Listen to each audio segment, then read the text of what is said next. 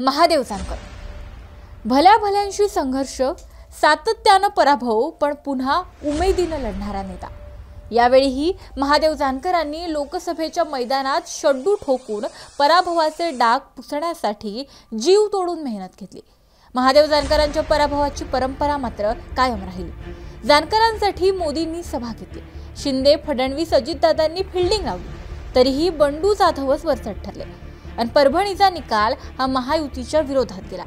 परभणीमध्ये जानकरांचा पराभव कशामुळे झाला आणि परभणीत पराभव झाल्यानं जानकरांनी काय गमावलं तेच सविस्तर पाहू.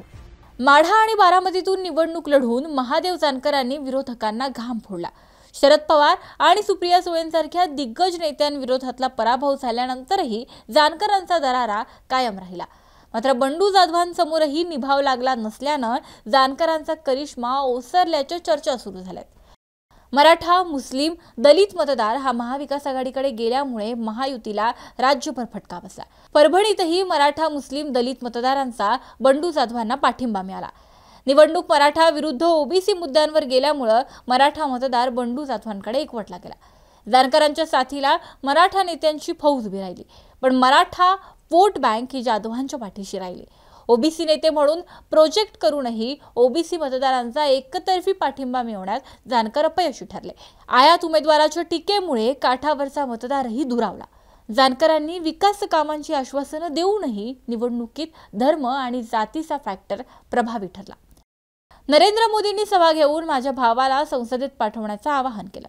पण उद्धव ठाकरेंनी भर पावसात सभा घेऊन जानकरांचं डिपॉझिट जप्त करण्याचं आव्हान दिलं. परिणामी शिवसैनिकांनी जानकरांविरोधात आक्रमक प्रचार केला. त्यामुळे भाजपा आमदारांच्या मतदारसंघातही जानकर पिछाडीवर होते.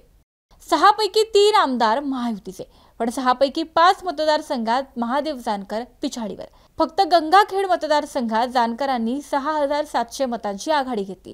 गंगाखेडमध्ये एकतर्फी पाठिंबा मिळवण्यात जानकरांना अपयश आलं. जानकरांसोबत स्थानिक महायुतीच्या नेत्यांनाही मतदार वळवण्यात अपयश आलं. वंचित उमेदवारामुळं बंडू जाधवांची पंच्याण्णव हजार मतं फुटली तरीही एक लाख चौतीस हजारांच्या फरकानं ते विजयी झाले. शरद पवारांना आव्हान देऊन सुप्रिया सुळेंना तगडी फाईट देऊन महादेव जानकरांनी राज्याच्या राजकारणात दबदबा निर्माण केला. पण यावेळी बंडू जाधवांसारख्या जिल्ह्यापुरत्या मर्यादित नेत्याकडून पराभव झाल्यानं जानकरांची पुढची समीकरणं बिघडली. पराभवानंतरही राज्याच्या राजकारणात छाप सोडणारा नेता अशी प्रतिमा निर्माण करणाऱ्या जानकरांना पुन्हा एकदा करिश्मा दाखवून द्यावाच लागेल. परभणी लोकसभेच्या या निवडणुकीबाबत तुम्हाला काय वाटतं? आम्हाला कमेंटमध्ये नक्की कळवा. हा व्हिडिओ जर तुम्ही फेसबुकवर पाहत असाल तर मटाचं फेसबुक पेज लाईक करा आणि जर यूट्यूबवर पाहत असाल तर मटाचं यूट्यूब चॅनल सबस्क्राईब करायला विसरू नका. असेच व्हिडिओ आमच्या यूट्यूब चॅनलवर पाहत राहा.